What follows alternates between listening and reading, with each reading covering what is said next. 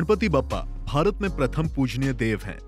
लेकिन अब सिर्फ़ हिंदुस्तान में ही नहीं, बल्कि विदेश में भी भगवान श्री गणेश की नाम की सड़क देखने को मिलेगी।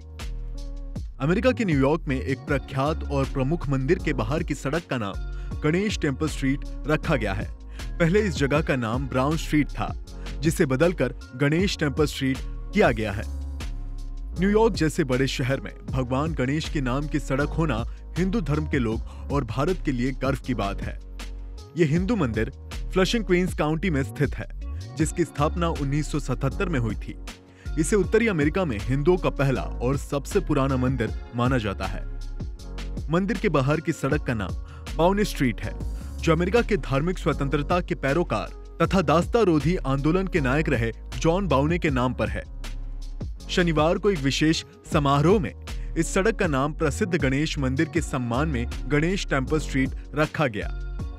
इस समारोह में न्यूयॉर्क में भारत के महावाणिज्य दूत रणधीर जायसवाल क्विंग्सबोरो के अध्यक्ष डोनोवन रिचर्ड्स न्यूयॉर्क के मेयर एरिक एडम्स के कार्यालय में व्यापार निवेश और नवोनमेश के उपायुक्त दिलीप चौहान समेत कई लोग शामिल हुए।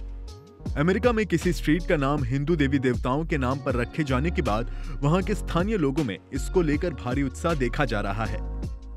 लोग सोशल नेटवर्किंग साइट्स पर स्ट्रीट के बदले हुए नाम की तस्वीरें और वीडियोस को शेयर कर रहे हैं।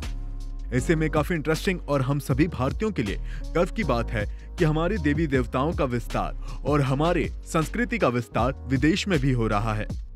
आपका इस पूरे वीडियो पर क्या सोचना है? हमें कमेंट बॉक्स में कमेंट करके ज़रूर बताएगा। जनतंत्र टीवी के लिए सुधांशु चौरसिया की रिपोर्ट। खबरों के निष्पक्ष विश्लेषण के लिए सब्सक्राइब करें Jantantra TV and press the bell icon never miss any update